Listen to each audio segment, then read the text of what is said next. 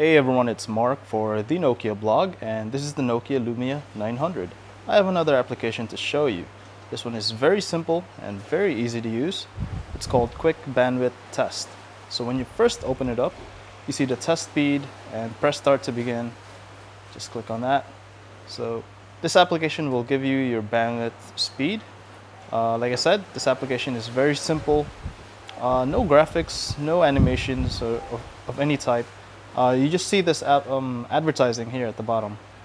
What's great about this is that you could uh, select your download size. The default is 5 megabytes, but you could change that to 10, 20, 50, or even 100. And you could show the results in megabits or kilobits per second. So the test is going on right now, and you can see here in the middle, my connection type is currently on Wi-Fi. So it'll tell me my test result. Uh, that's about to finish up. So my speed right now is 0.96 megabits per second.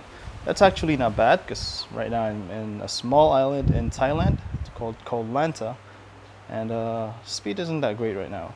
So if you go to the next page, all you see is your, your settings, which I've showed you before.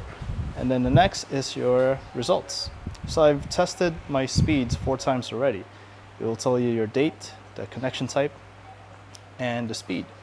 So it looks like my uh, cellular is just about the same uh, speed as my Wi-Fi.